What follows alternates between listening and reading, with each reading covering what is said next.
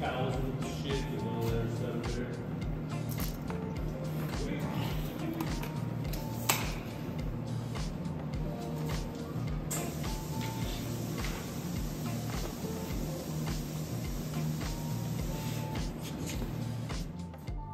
What's going on everybody? In today's video, I'm going to be doing the necessary chassis modifications for my Beetles independent rear suspension setup. Since I'm going to be running a chain driven differential now, I need to have a structure to mount it to, and I'm also going to be mounting my rear control arms off of that same structure. I also really want to give a big thanks to this guy who's helping me right here. His name is Neil and he's the owner of Monument Motorsports. He's been nice enough to let me work out of his shop on the Beetle for the past few months. And he's also the person who was squeegeeing me in the opening clip of the video. He's uh, one of the funniest guys I've ever met and one of the nicest people. And so I just really wanted to give him a shout out.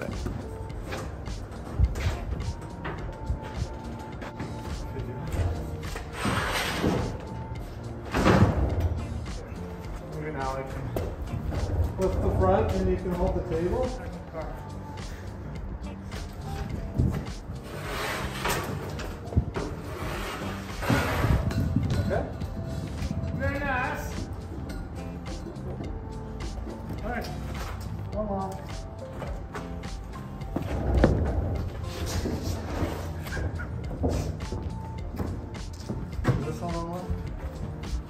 Camera.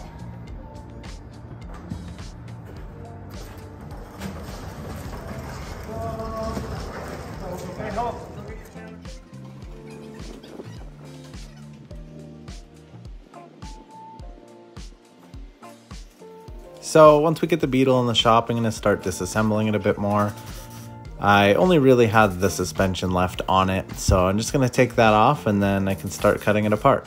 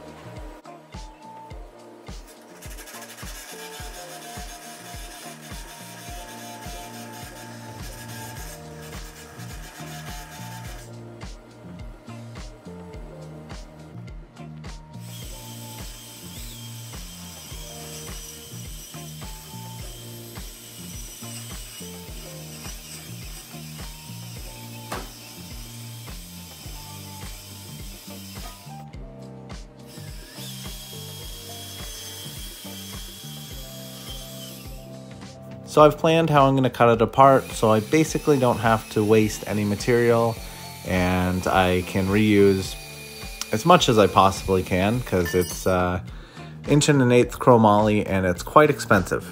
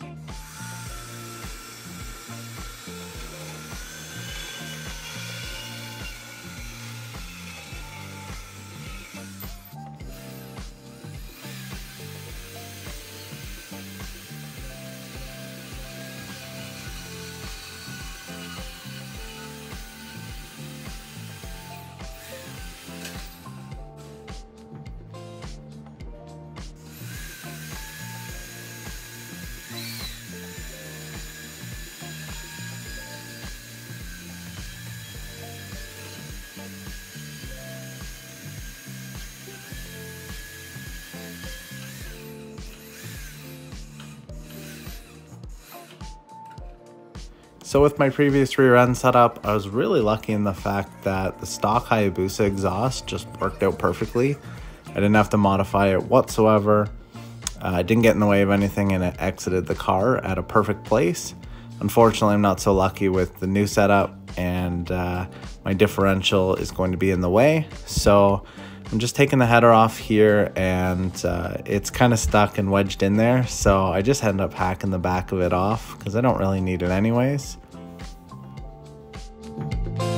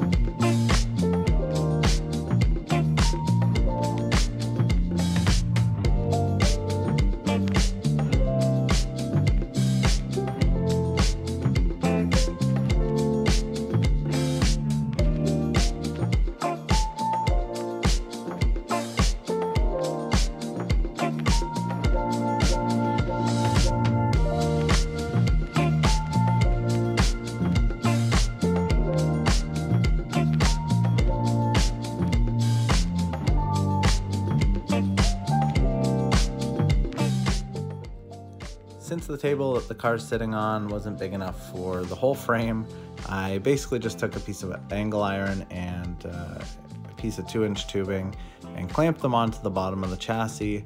And then you can see that I am reusing the lower frame rails that I cut off and I'm rewelding them on at the desired width.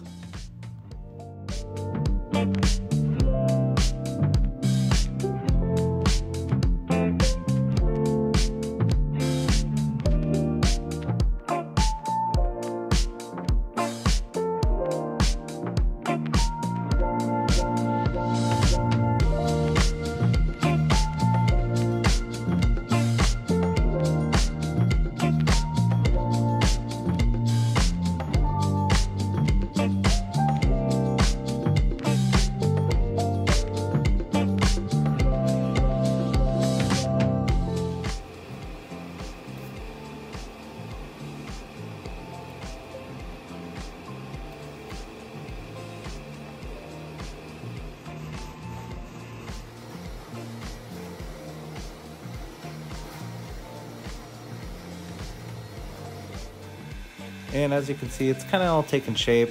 It's basically just a box off of the back of the chassis and the differential is going to mount inside of it and then the control arms are going to mount on the outside of it.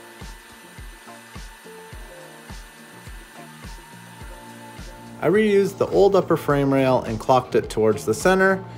This allows me to keep the same mounting location for my suspension rocker as well as triangulate the new rear section of the chassis.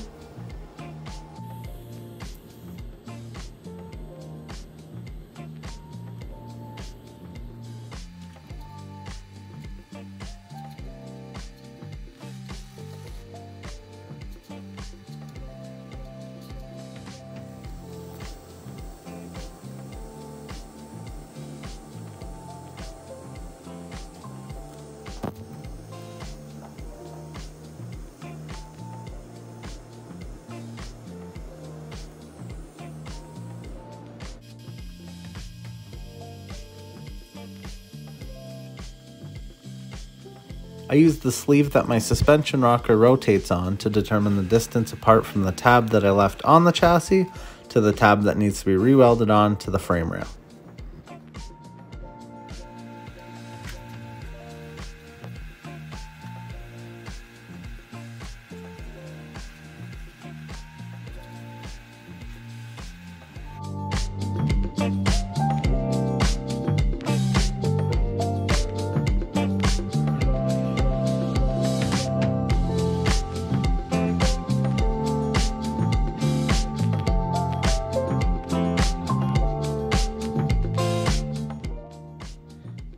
Tube that I'm notching here is going to be for the X brace at the very back of the chassis.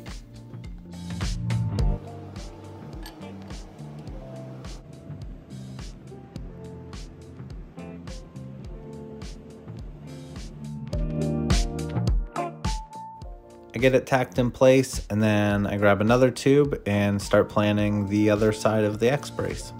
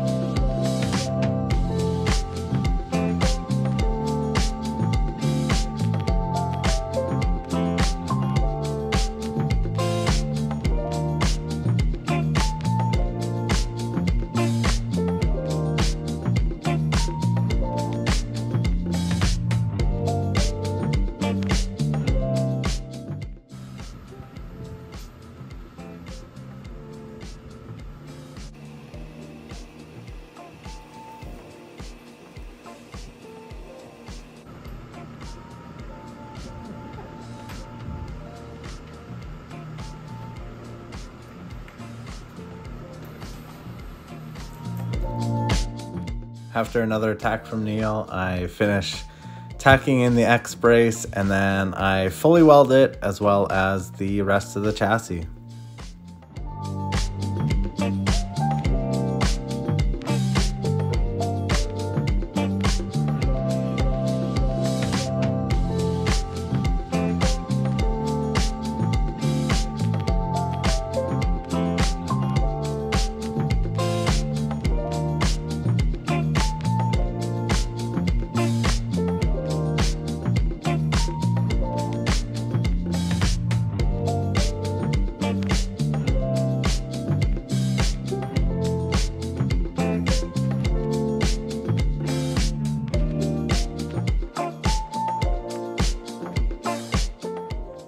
Here it is almost completely done. It still needs a couple more vertical tubes for the front of the control arms to mount to, as well as another horizontal tube that runs side to side that my differential will mount to. Uh, but the next step at this point is to get those vertical tubes in and then build my control arms. Thank you guys so much for watching the video and I'll see you in the next one.